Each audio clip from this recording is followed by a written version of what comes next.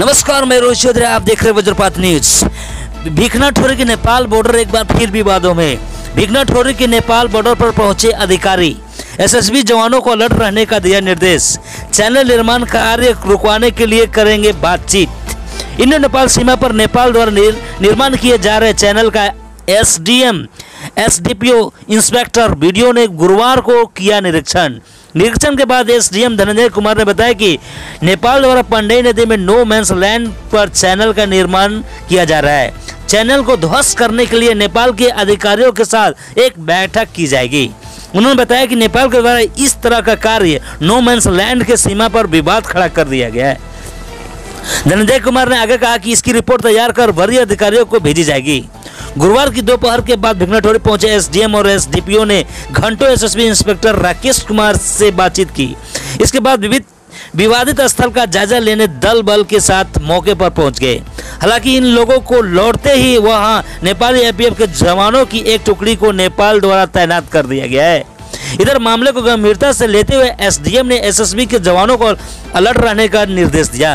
हालाँकि एसएसबी के जवानों द्वारा बुधवार को ही हो रहे चैनल निर्माण कार्य पर रोक लगवा दी गई है। मौके पर शिकारपुर पुलिस निरीक्षक मुनीर आलम वीडियो शिवजनम राय सहोदर थानाध्यक्ष धीरज कुमार, स्थानीय पुनेश्वर सिंह, पूर्व मुखिया दयानंद सहनी आदि उपस्थित थे। नो मैंस लैंड की ज़मीन पर कब्जा चाहता है नेपाल। वही सूचना के बावजूद भी कोना अंचल अधिकारी समय से मौके पर नहीं पहुँचे। पंडई नदी में चैनल का निर्माण कर नेपाल नदी की ज़मीन पर कब्जा करना चाहता है। नाम नहीं छापने का अनुरोध पर एक नेपाली जनप्रतिनिधि ने बताया कि नेपाल पर्यटन क्षेत्र में विकास करने की योजना पर कार्य किया जा रहा है।